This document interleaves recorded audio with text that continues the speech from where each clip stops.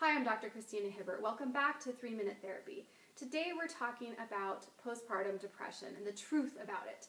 First of all, let's talk about the facts. Postpartum depression is pretty common. It affects up to 15 to 20% of all postpartum women and as many as 10 to 15% in pregnancy.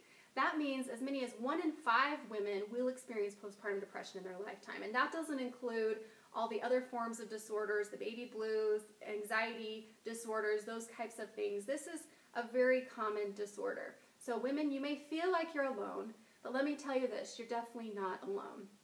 Now, the symptoms can look like similar, similar to a regular depression weepiness, sadness, feeling overwhelmed, um, difficulty sleeping, changes in appetite. Also, it can include other symptoms we don't normally see in a regular depression, like great anxiety, worry, distress, and even anger or frustration.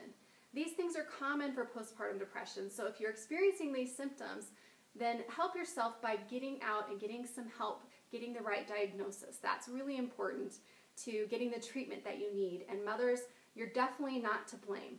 There are so many different reasons why these disorders happen. Mothers want to feel well, they want to be their best, and then they're faced with these symptoms that are very overwhelming, and it can lead to a lot of feelings of guilt and feeling like I'm not a good enough mom. And that's the truth, isn't it? A lot of us feel that way when we experience postpartum depression. But the truth is, there are many reasons why this may be happening. Number one, hormones in your body. Your body's been through this crazy experience called pregnancy and childbirth, and now you're in this recovery period.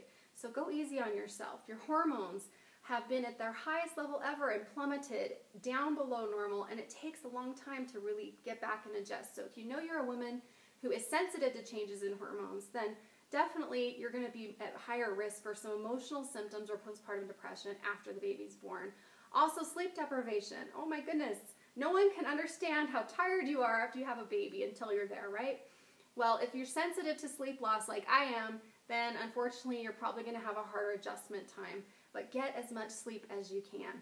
And other factors too. If you have a supportive family and partner or husband, then you're at a you're going to have an easier time. But if you're having relationship difficulties or struggles, that's another risk factor. Or other life stress in your life that can compound it. All of these things make it very difficult after a baby is born and not not to mention just adjusting to becoming a parent or becoming a parent again and relationships and roles and how does all that work? Oh my goodness, there's so much to it. So, again, mothers, you're not to blame. Finally, you will be well. I personally became an expert on postpartum depression because I've been through it four times. The first time I tried to seek out help, this was 17 years ago, and my doctor sent me a pamphlet about the baby blues and said, ah, everybody feels that way, it's no big deal. Well, I lived on the floor of my mother and father's house with my husband and baby for three months trying to get well on my own. It was a rough time. But times have changed and improved, and even though there are still some, some barriers to getting treatment, treatment is out there, and there are some great experts to help you get the treatment you need.